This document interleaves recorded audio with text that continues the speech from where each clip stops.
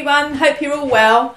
Um, so lately I've just been reminiscing over little funny stories and, and things that have happened in the uh, organisation or, or, in our congregation um, over the years. And uh, we had at one time a bit of a nipple controversy in the congregation.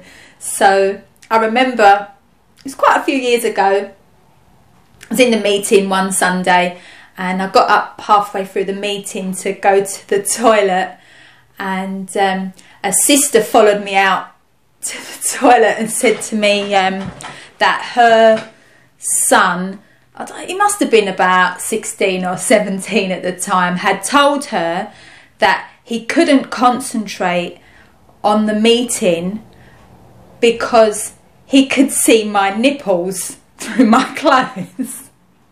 So you know, at the time I was mortified because I said to her, I've got bra on, I've got clothes on. What could what can a woman do? It's cold in here, you know. it is what it is. It's nature.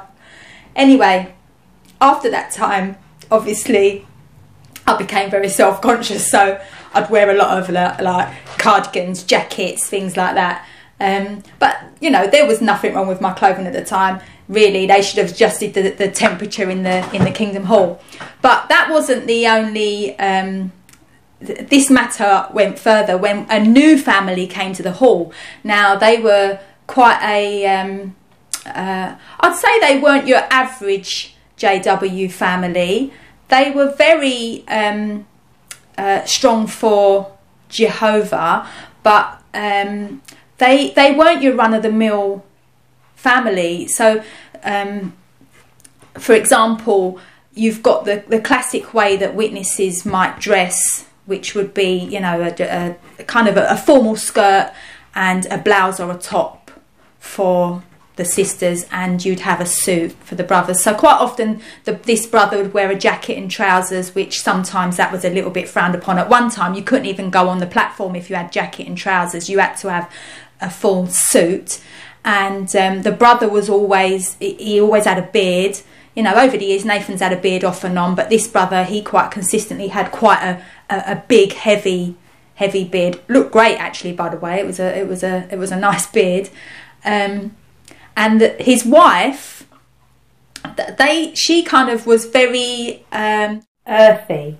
like in her style.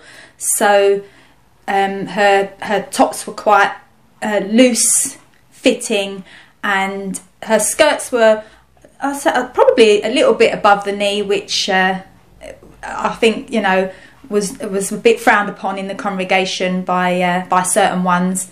And because um, it was always knee length skirt weren't it?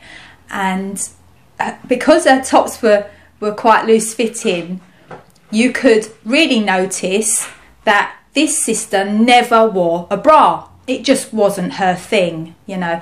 And she was quite well endowed.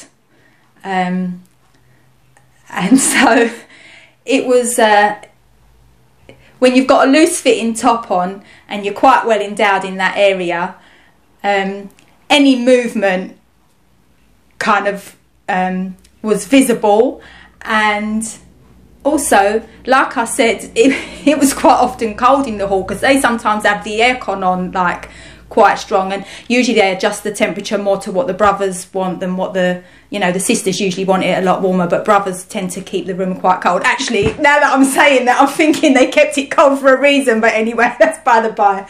So uh, anyway this sister uh, uh, her sense of style and her, her manner of dress soon became a controversy in the meeting because the sisters were in uproar about it. You know, I was quite in the mix with um, the sisters out all on the field service groups during the during the week, and I was always out on the weekends, and so I was well up on, you know, what was the topic of gossip and uh, what was the conversations at the time. And she was consistently in the conversations. And even brothers would mention it from time to time. Oh, here she comes, you know, like shut your eyes kind of thing. And it, it was, it was really quite funny. And amongst the sisters, it was decided that you know the brothers weren't going to counsel her on this because it was too much of a touchy subject. So they were all sort of nominating each other. Maybe you should have a word. Maybe you should have a word. And it, and it was left to the wife of the uh, the the wife of the coordinator. Um, eventually spoke to her about your dress being well arranged and modest, and um, yeah, she started after that wearing a bra. But it's just surprising how much controversy these things cause in a congregation. And um, yeah, it makes me laugh now. But yeah, at the time, mate, what a scandal, you know. If you for for people that believe in God and believe that that uh, breasts and nipples have got a purpose in life, this uh, the the obsession with these things is uh,